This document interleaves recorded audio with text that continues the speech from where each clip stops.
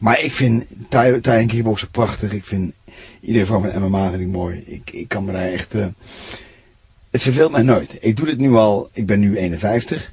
En ik doe het al vanaf mijn, 16e jaar.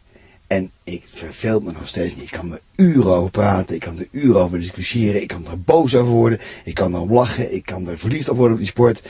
Het is een passie, een bezieling die ik ooit heb gekregen. En die nooit meer is weggegaan.